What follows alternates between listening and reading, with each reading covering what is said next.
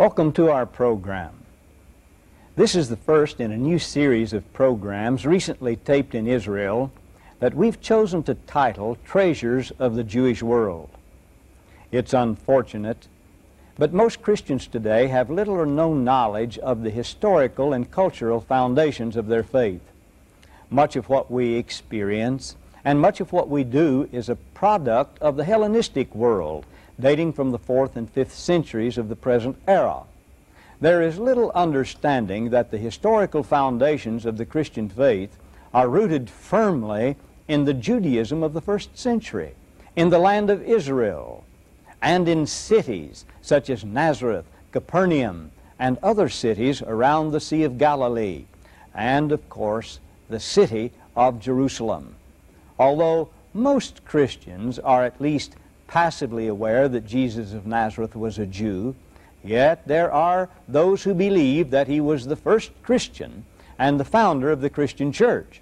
However, Jesus was not only a Jew, but a rabbi, and utilized well-known rabbinic methods in his teaching and operated entirely within the structure of the historic Judaism of his day. Further, this new movement that grew out of the teachings of Jesus and his disciples was a movement that operated strictly within the confines of the Judaism of Jesus' day.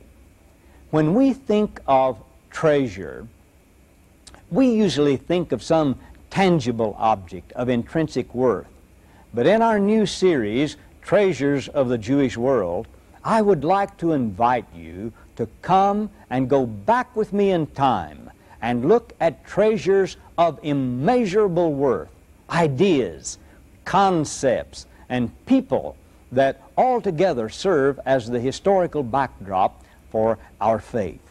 I can think of no better place to begin than the city of Jerusalem and one of the most sacred and historically significant sites in all the Jewish world, the Temple Mount the temple of God in Jerusalem. In Jesus' day, it had been refurbished by Herod the Great and surpassed in architectural splendor and majesty any structure throughout all of ancient Israel. In the Talmud, in Tractate Sukkah 51 and 2, it states, No one has seen a truly beautiful building unless he has seen the temple. Herod's project of refurbishing the temple to win the favor of the Jews was a monumental enterprise that required vast quantities of building materials, including huge, hand-chiseled, smooth, rectangular stones, each containing a border called a marginal draft, so distinctive in style, size, and workmanship that the stones are called Herodian stones. According to Josephus, 10,000 stonemasons and stone cutters labored, and over a thousand wagons were manufactured to help bring the stones from the quarry. The re-innovation of the temple probably began in the 18th year of King Herod, around 20 BC, and although the temple proper was probably completed in his lifetime, the plan as a whole was probably never completely finished. The Gospel of John in chapter 2 and verse 20 tells us that it took 46 years to build this magnificent temple of God. The archaeological excavations at the Temple Mount were unique in many ways. First, it was one of the few archaeological excavations to work year-round. And secondly, it was one of the few to enjoy such a large number of volunteers that came from all over the world to give both their time and effort in the accomplishment of a monumental archaeological task. And finally, the discoveries themselves are some of the most exciting and historically significant of any archaeological excavations in Israel to date. The archaeological excavations at the Temple Mount began in February of 1968, just shortly after the Jews were provided access to the area after the Six-Day War that took place in June of 1967, and I personally joined the excavations in June of 1968, and we immediately excavated down and found the base of the archway at the staircase that led into the Tyropoeon Valley. Let me show it to you here on this uh, reconstruction of the uh, temple compound that was drawn as a result of our archaeological excavations. And here you see the area where we began and the staircase that led into the Tyropoeon Valley, providing access into the temple itself. We found the limestone street that ran along the southern wall of the temple compound, and at the southwest corner of the uh, street and of the uh, temple itself, we found here on the street evidences of the destruction of the temple that took place on the ninth day of the Jewish month of Av in 70 of the present era. And one of the stones had an inscription on it in Hebrew that said to the place of trumpeting, Levet hat the stone that marked the very place here way up on top of the uh, temple itself where the priest would stand to blow the shofar to announce the beginning of the Sabbath and other feasts and festivals. We know of this from the writings of Josephus in Wars of the Jews, Book 4, Chapter 9, and paragraph 12. And I'd like to read to you just a little brief sentence. It says, And the last was erected above the top of the Pastophoria, where one of the priests stood, of course, and gave a signal beforehand with a trumpet at the beginning of every seventh day, in the evening twilight, as also at the evening when the day was finished, as giving notice to the people when they were to leave off work and when they were to go to work again. And this is the only record of which we know describing the blowing of the shofar to mark the beginning and the end of the Sabbath.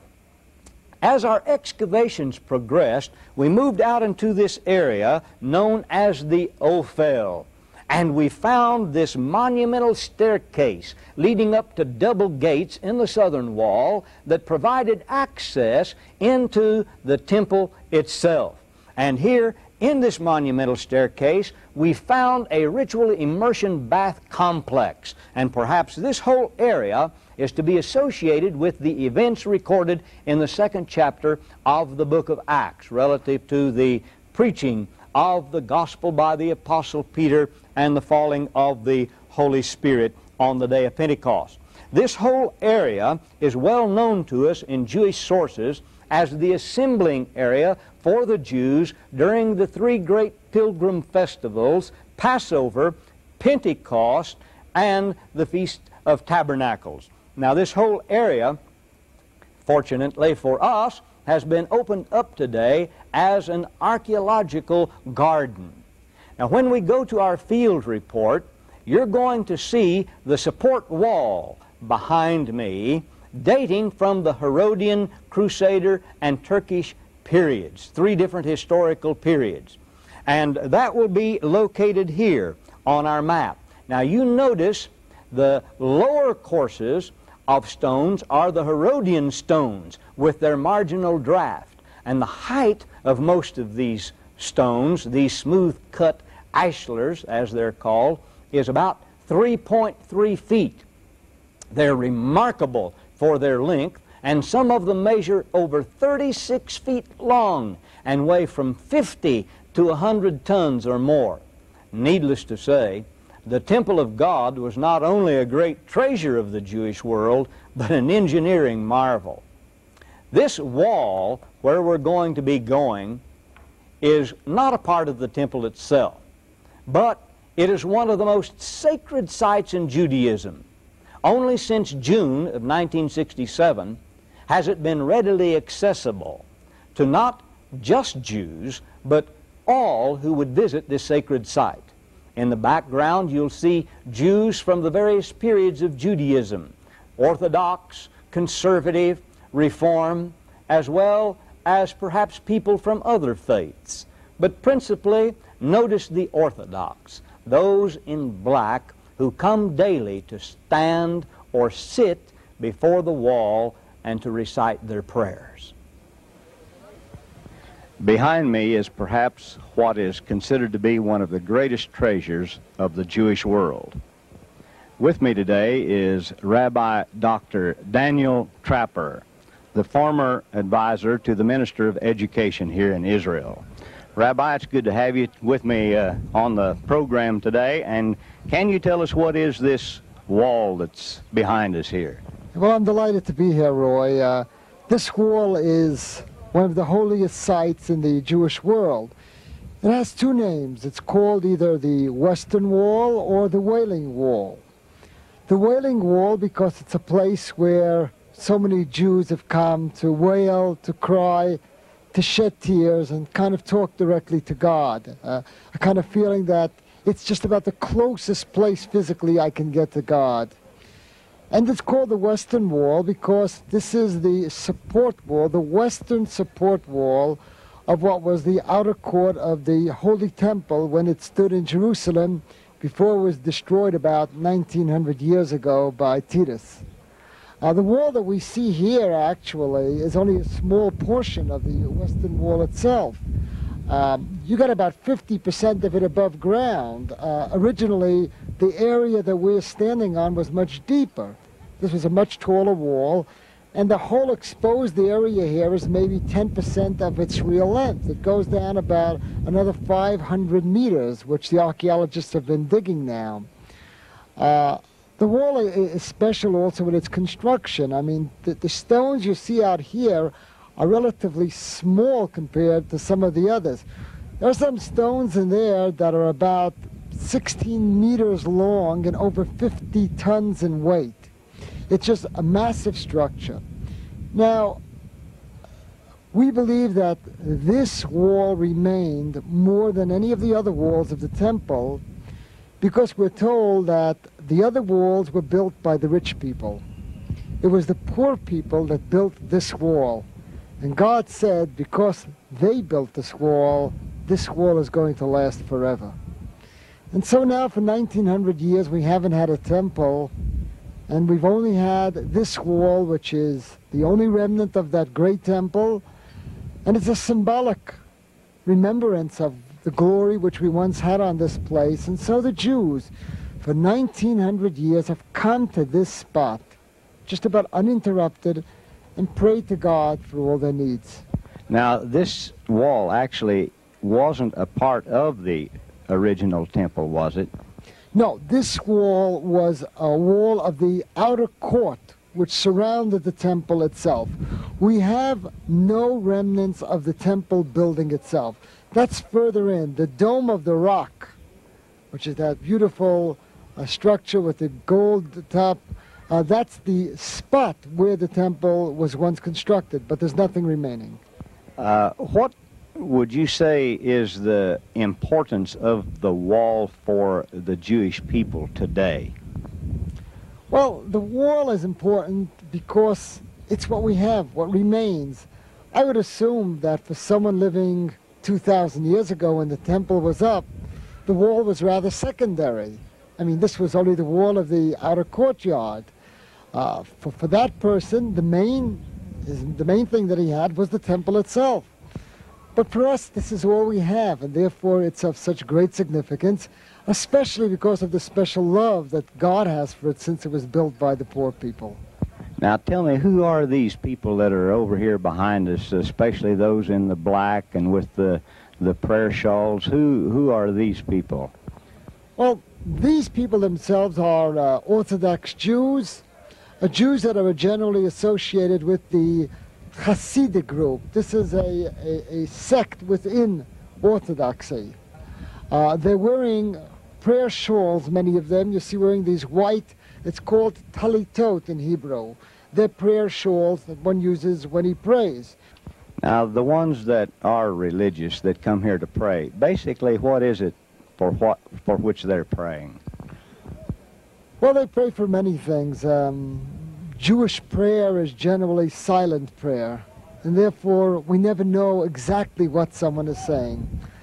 But there are really two kinds of prayers. The first is a personal prayer.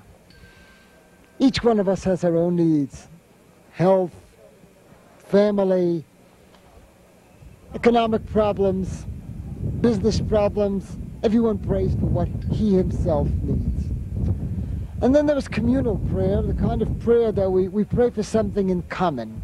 There are certain needs of the Jewish people, Jewish people all over the world. We're unfortunately a people that have not been short of problems. And even today we have communal needs. And we may pray for things we need right now. And we may have dreams that perhaps one day the temple will one day be rebuilt again and our former glory will be restored. The religious history of the Temple Mount, Mount Moriah, begins with Abraham, who built an altar on this mountain to offer his son Isaac as a sacrifice unto God. Centuries later, God appeared to David the king on the threshing floor of Araunah the Jebusite. It was here that David's son Solomon constructed the first temple, perhaps the most costly and beautiful edifice that the world has ever known. This temple was destroyed in 586 BC on the ninth day of the Jewish month of Av by Nebuchadnezzar and the Babylonians. It was rebuilt and rededicated in 516 by Zerubbabel and the returnees from Babylonian exile. Around 28 BC, Herod the Great, in order to win favor with the Jews, began an auspicious program of enlarging and refurbishing the temple of Zerubbabel. Herod expanded the temple compound with support walls to the south and to the west, greatly increasing the size of the temple compound. Along the southern end of the compound, he constructed a magnificent colonnaded stoa, or open-aired porch. A staircase along the southern wall provided access into the temple area through double gates known as the Huldah gates, after the prophetess Huldah from the time of Josiah in 621 BC. From the gates, a staircase led through the wall and then up into the temple compound proper. At one time, it was thought that the location of the temple was where the Dome of the Rock stands today but it has recently been suggested that it was actually oriented to the north, where the Dome of the Spirits, or the Dome of the Tablets, is situated. Not many years ago, a young man studying at the American Institute of Holy Land Studies here in Jerusalem fell in a tomb at the eastern gate and discovered the archways of the ancient gate into the city. From Jewish sources, this gate apparently was immediately in front of the gate leading into the temple compound. So evidently the temple was situated to the north of the Dome of the Rock. If this is correct, the temple could conceivably be rebuilt without disturbing the Dome of the Rock. Is there any real move to rebuild the temple being made? We hear a lot in Christian circles today, especially evangelical circles, about the rebuilding of the temple. And yes, there are those Jews here in the country today who are interested in the rebuilding of the temple. But by and large, no united effort or specific plans to rebuild the temple are being made. No stones have been cut. None are being cut for the rebuilding of the temple. And those who know Jewish history shouldn't really be surprised. For although the temple was a magnificent structure, and not just a great treasure, but in fact one of the real wonders of the world, the scriptures indicate that God's plan or purpose was not to dwell in a physical structure made with hands, but to dwell in his people. In Exodus chapter 25, verse 8, we read, Asuli Makdash, b'shachanti b'toch am. Make for me a physical structure, but I'm going to have my dwelling place in them or in my people. Some might ask about passages in the Bible, such as in the books of Daniel and Revelation, concerning the abomination of desolation standing in the temple. But keeping in mind God's purpose or plan for his people to dwell in them. Is it not an interesting question that we pose? Could not the abomination of desolation be, in fact, referring to a falling away on the part of God's people from true biblical faith? Well, only time will tell. All around us, we see the rubble and the ruins of the magnificent temple of God here in Jerusalem, destroyed on the ninth day of the Jewish month of Av in 70 AD by Titus and the Roman army. And with the destruction of the temple, an era in Jewish history came to an end. But out of the ashes, out of the ruin, and out of the rubble, a new era began.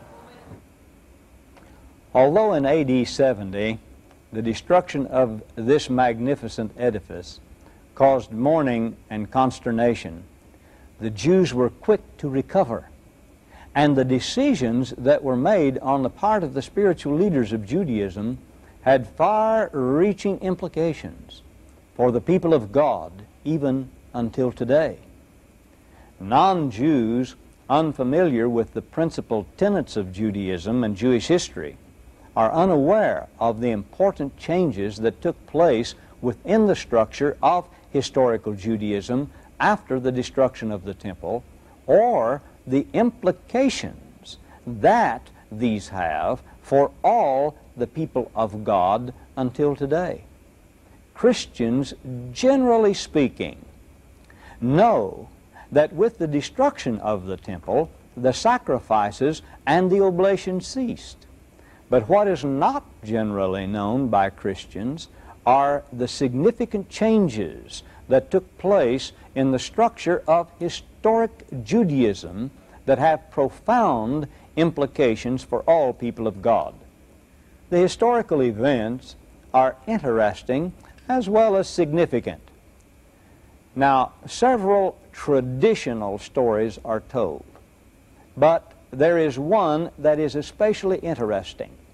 Before the destruction of the temple in 68 of the present era, a very famous rabbi, Yehochanan ben Zakkai, knew that the cause was lost and that the destruction of Jerusalem and the temple was imminent.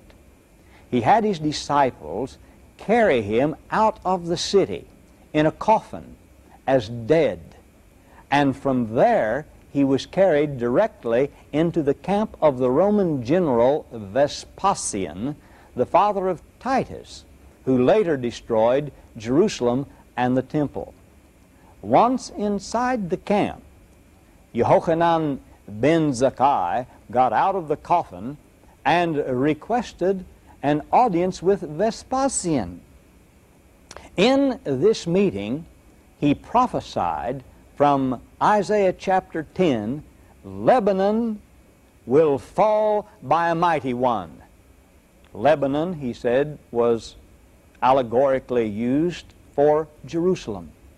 And in this, he foretold Vespasian's victory.